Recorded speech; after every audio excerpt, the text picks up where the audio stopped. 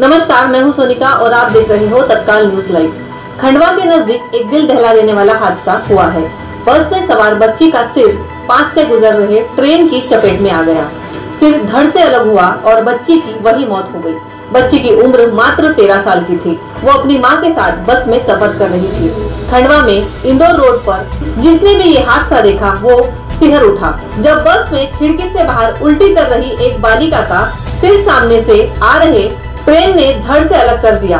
बस में बैठे लोगों ने यह हादसा देखा और उनकी रूह काँप गई। यह दुर्घटना देशगांव थाने के पास रोशिया गाँव में हुई है, जहाँ एक अंधे मोड़ पर ट्रक और बस रगड़ खाकर निकले और बच्ची की जान चली गई।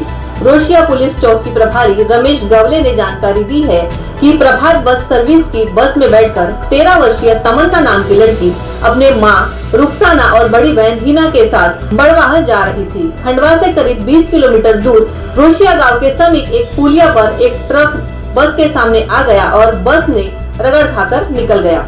उसी दौरान तमन्ना खिड़की से बाहर मुँह निकालकर उल्टी कर रही थी। वह ट्रेन की चपेट में आ गई, उसका सिर बुरी तरह कुचल गया और उसकी मौके पर ही मौत हो गई। घटना के बाद ट्रक चालक ट्रक वही छोड़कर मौके से फरार हो गया। इधर पुलिस ने आरोपी ट्रक चालक के खिलाफ इरादतन हत्या का प्रकरण दर्ज कर ट्रक जब्त कर लिया है। मृत महिला का शव पोस्टमार्टम के लिए देशगांव के लिए ले जाया गया है।